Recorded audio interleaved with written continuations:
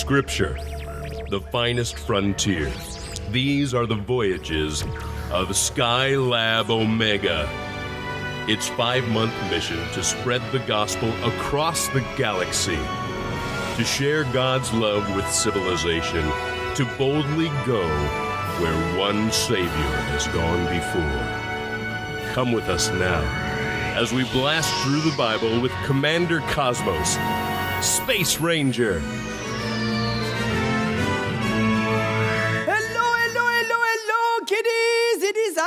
Professor Von Himmel. Welcome back aboard Skylab Omega. I had a special project that I was supposed to do with uh, Dr. Somonex. You haven't seen him, have you, Dr. Somonex? No. Wait, do you hear that? I hear him snoring. Is oh, he's snoring, sleeping again in the commander's chair, no less. Dr. Somonex. Dr. Somonex! An object in rest will stay at rest unless acted on by an external force. You remain at rest all the time. Oh, well, that's science. Well, that's great, but what are you doing in the commander's chair? well, since the commander hurt his leg, I, I thought I would help him out by steering the ship. I've been up all night trying to figure out how this keyboard works. You were up all night? Uh, well, yeah, most of the night. Uh, well, well, some of the night. I, I've been trying to figure out what all these levers do. Like, ooh, like this button right here. Oh, oh, I think that one is the brakes. yeah, I think you're right.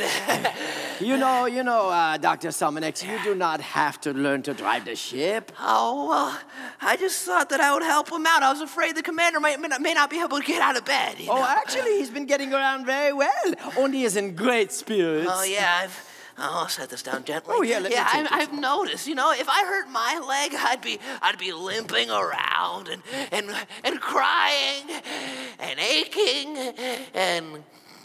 And sleeping. Dr. Somonex? Dr. The boiling point of water is 100 degrees Celsius. That's great, Dr. Somonex. Yes. You know, Dr. Somonex, you, you do not have to learn how to drive the ship. Oh. No, the commander will be fine. yeah, you're right. Well, he's so brave. How does he do it? Well, it's not easy to be brave, but the Holy Spirit gives us boldness. yes, just like he did for Stephen. Oh, who's Stephen? Oh, you don't know the story of Stephen? Oh, ah. you've got to hear that one. Well, I'll get the Bible out Okay, right good, now.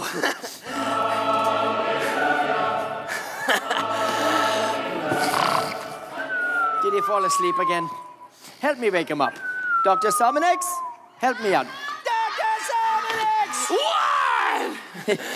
The Bible. Will you hand me the Bible, please? Yes, yes. thank you, thank you. Well, now you may not know this, but Stephen was the first martyr of the church. Oh, what's a martyr? Nothing. What's the matter with you? oh, that cracked me up. Me too.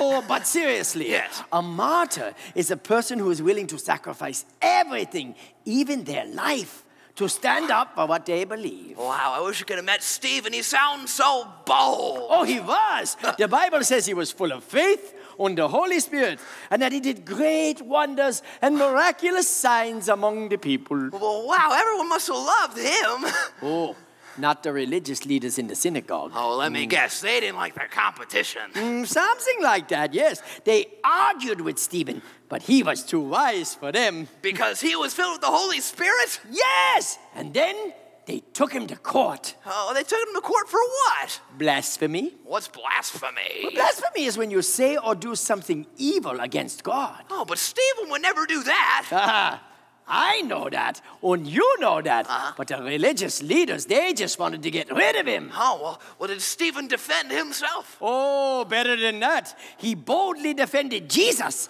He explained all of God's plan, beginning with Abraham and then Moses, and all the way through until it was completed by God's Son, Jesus. Wow, did that make the leaders, you know, uh, at least smile? Well, it made them grit their teeth, but I wouldn't exactly call it a smile.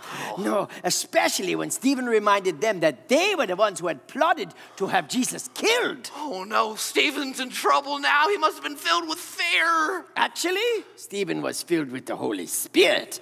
He looked up to heaven and said, Look, I see heaven open and the Son of Man standing at the right hand of God. I get it. It's like God was showing Stephen that what he believed was true. Stephen always had his mind on God, even when they dragged him out into the streets and threw stones at him. Oh, they threw stones at him. Where does it say that? Oh, why don't you read it for yourself in the virtual Bible? Okay. Yes. Oh, what does it say? While they were stoning him, Stephen prayed, Lord Jesus, receive my spirit. Then he fell on his knees and cried out, Lord, do not hold this sin against them. When he had said this, he fell asleep. Hey, he prayed for his enemies and fell asleep just like I do.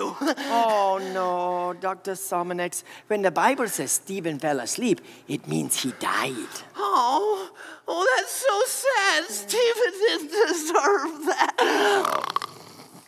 Is he asleep again? Dr. Somonex? Dr. Somonex!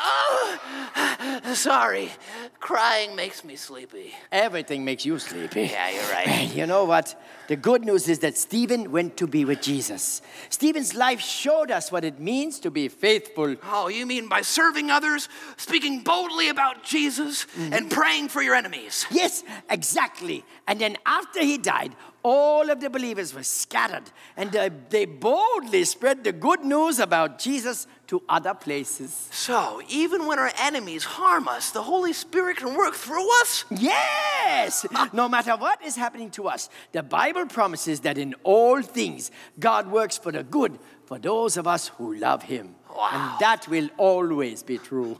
After all, you know what the commander always says Jesus is the same yesterday, today, and forever! so long, kids. We're gonna go check on the commander, make sure he's okay. Yeah, I think he is.